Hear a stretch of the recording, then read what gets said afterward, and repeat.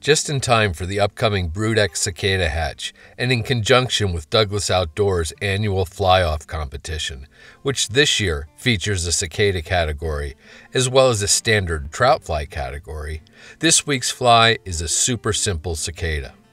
Although ultra realistic imitations look cool, I think all you really need to attract a trout's attention is something that goes splat and can be aggressively moved on the water's surface without sinking. To that end, the body of this fly is formed using four layers of 2mm craft foam, three black plus an orange accent layer. The layers get laminated together using an adhesive such as 3M's Super 77. Once bonded, the stack becomes a single unit that's somewhat flexible and completely waterproof. A foam body cutter, like this large beaver tail style one from River Road Creations, is key to creating a professional looking body. Four 2mm layers of craft foam is about the tool's max, but it handled the job with ease. A whole bunch of bodies can be cut out in just a few minutes. Get hold of one of the foam bodies and prep it by snipping off the narrow front tab. While you're doing foam work, punch out a series of holes on a piece of orange 2mm craft foam and collect the resultant dots. One of these will be used to create a hot spot and make the fly more visible. A beautifully shaped and ridiculously sharp Ahrex HR 418 bomber hook in size 4 fits well with the large foam body. Get the hook firmly secured in the jaws of your tying vise. Notice the hook has a return eye. This needs to be closed prior to tying in materials. For thread, I've loaded a bobbin with a spool of black UTC 140 denier. You can jump up to a heavier thread or even something gel spun if you prefer. Get the thread started behind the eye and take a few tight wraps to close the return and to anchor your tying thread. Continue taking thread wraps down the hook shank a short ways before lifting the excess tag end up and snipping it off close. Keep taking thread wraps down the shank to create a nice even thread base for the fly. Stop when your thread hangs at about the hook point, then take a few open spiral wraps back up the shank. Black rabbit fur dubbing is used to create an underbody on the fly, which will help to adhere the foam and keep it from rotating around the hook shank. Build an ample 4 to 5 inch long noodle on your tying thread. Don't be shy with the dubbing here. Start taking wraps with the noodle to cover up the entire thread underbody. At the front of the fly, reach for another clump of dubbing and use it to build up a dubbing noodle just like the last one. With the noodle complete, wrap it down the hook shank over top of the existing dubbing to finish the underbody. Try to get it to taper gently at both ends. Leave your tying thread hanging at the hook point. Reach for your superglue, here Fly Tyer Z-Ment, and apply a very liberal coating to the top of the dubbed underbody. Align the front edge of the prepped foam body with the front of the hook eye, and be sure it's centered on top of the hook shank. Take a full wrap of tying thread over top of the body and gently pull down. Take subsequent wraps around the foam, pulling down a little harder each time. The pressure of the thread wraps will set the adhesive at this rear point. Angle your tying thread forward on top of the hook shank but under the foam. Then, press the foam down and take a thread wrap just in front of the bulge on the foam body. Repeat the same tie down procedure you did at the rear of the fly. Now, the superglue should have completely set and the foam body should be well anchored to the top of the hook shank. Orange, black barred, medium sized round rubber legs are used to imitate the cicada's somewhat stubby little legs.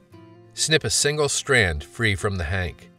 Double the strand over and find its midpoint. Place the midpoint on top of the foam body above your tying thread and take two wraps to lightly anchor it. This will allow you to pull one of the strands down on the near side of the body and the other down on the far side. Position the strands about halfway down the body, then take a few more tight thread wraps to firmly anchor them there. Pearl Krystal Flash is used for the underwing of the fly.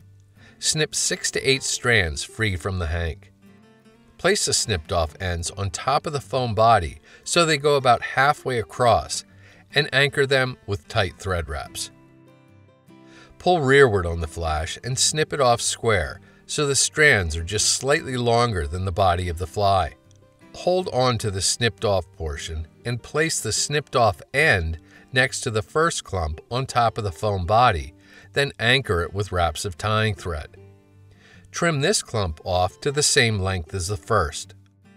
The fly should now look something like this. Once again, reach for the superglue and this time place a healthy drop on top of the thread wraps that bind down the Krystal Flash. Give the area a little finger pressure to make sure the adhesive sets.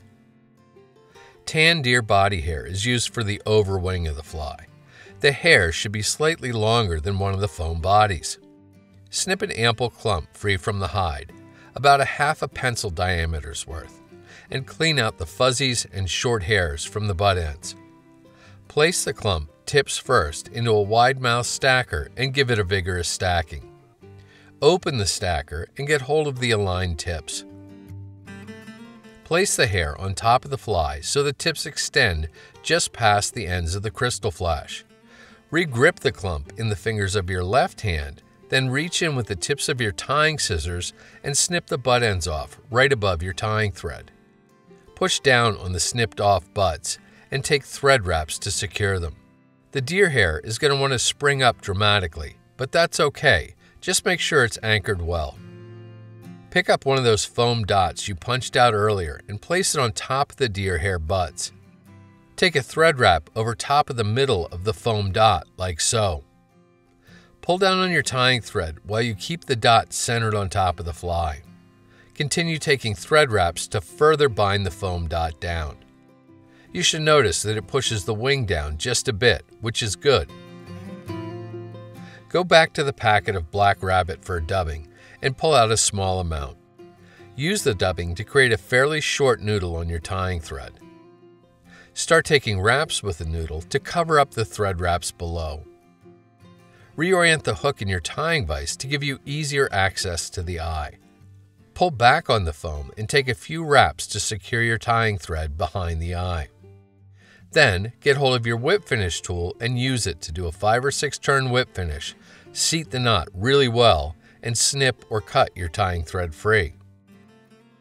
You can then reorient the fly back to its normal position in your tying vise. Snip the midpoint of the front loop to produce two front legs. Then snip all four legs off so they're fairly short, just a little more than a hook gap in length. Flip the fly over in your vise and apply a liberal coat of head cement, or here, Sally Hansen hard as nails, to the exposed thread wraps on the underside of the hook behind the eye. And that's the super simple cicada. It's not going to win any fly tying competitions because of its simplicity.